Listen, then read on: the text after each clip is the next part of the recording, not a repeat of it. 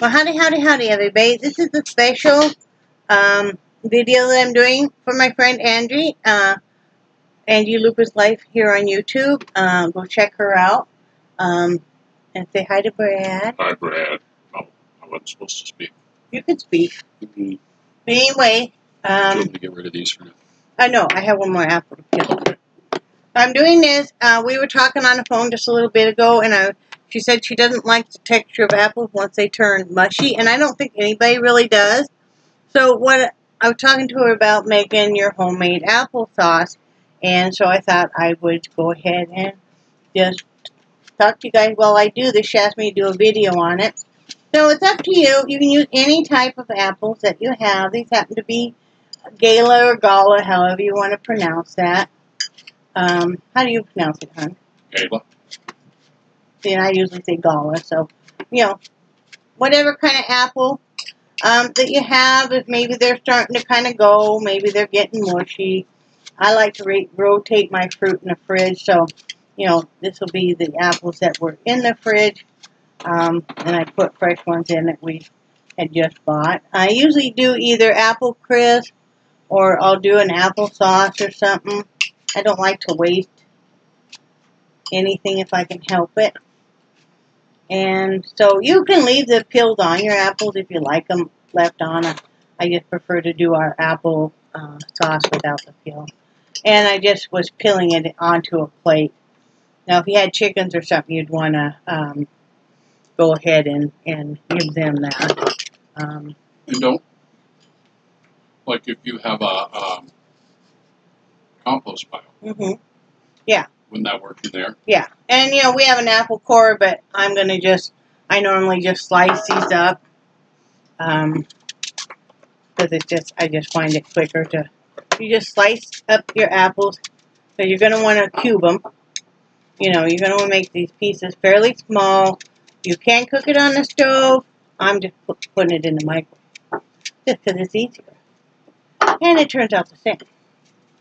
So, you know, you're just going to cut up your apple like that and then just kind of cube it up. My hands are clean. That's paint on my hands from painting in the art room last night. So, I got to spend some time in there last night, which was very nice. And, so anyway, this is just what you're going to do. And I'll come back when I'm done doing all of those for the next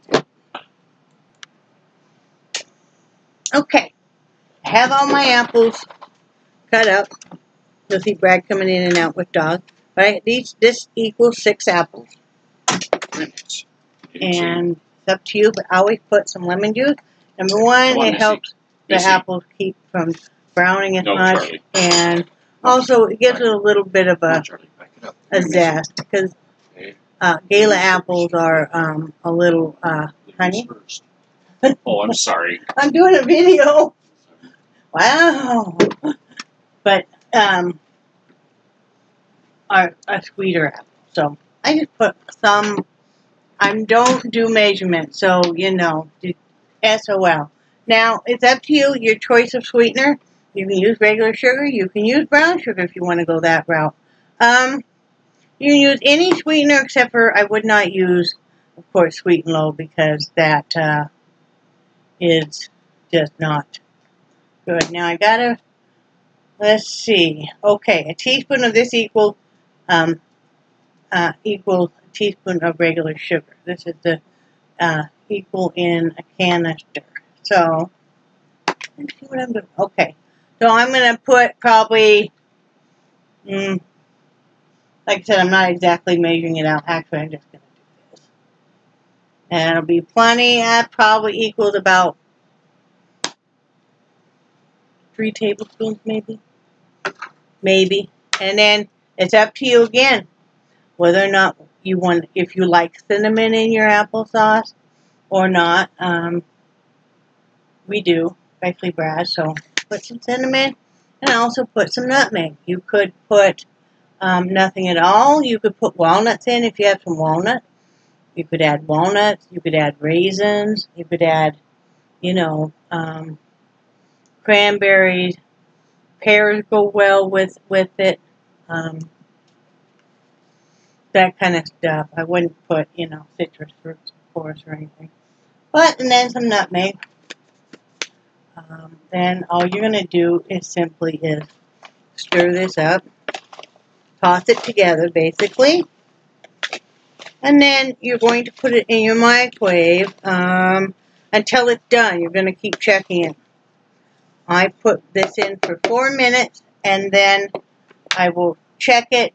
I like to use a potato masher in there to get it more, it's up to you how chunky you like your applesauce. Maybe you're not going to, um, you want it really just chunks of apple cooked anyway. Um, so it's up to you, but I'll come back when this is all done. Okay, I'm back. All in total, it took 10 minutes to do this. The apple cooked down to this, as you can see. And you could continue to use um, whatever kind of masher you want. If you wanted it really um, mashed, you could put it in a blender or food processor. Brad happens to like this chunky. Now, the wonderful things you can do with it is you could put it in your oatmeal if you're having plain oatmeal, or even if you're having uh, a fruit oatmeal. You could put it in, um, I was just thinking of that. You put it in oatmeal, you could um, put it, have it like with um, a scoop of ice cream. Um, what else could we put it in, honey? Pancakes, Oh, pancake, yeah. Pancakes waffles. or waffles. You could put it on top of that, you know, because you're trying to stay away from the sugar and stuff. Um, this is a vegan recipe, so you know those of you that are vegan can can make this and do it. Um, it keeps in the refrigerator wonderfully. Brad will probably have some later on tonight with some ice cream, um, and uh, I'll put in a smaller bowl, of course. But yeah, that's all there is to it. Easy peasy. You know, um, like I said, you don't have a potato masher, you can use a fork, you can use a spoon, you can, you know, you could use, um, even, once it's cooked, you could even use a mixer, like I said, but a blender, food processor, something like that would work great. So, anyway, that's how I make my homemade applesauce, and that way you don't have to waste any kind of apples. So, I hope everybody has a great day and I'll talk to you in a little bit.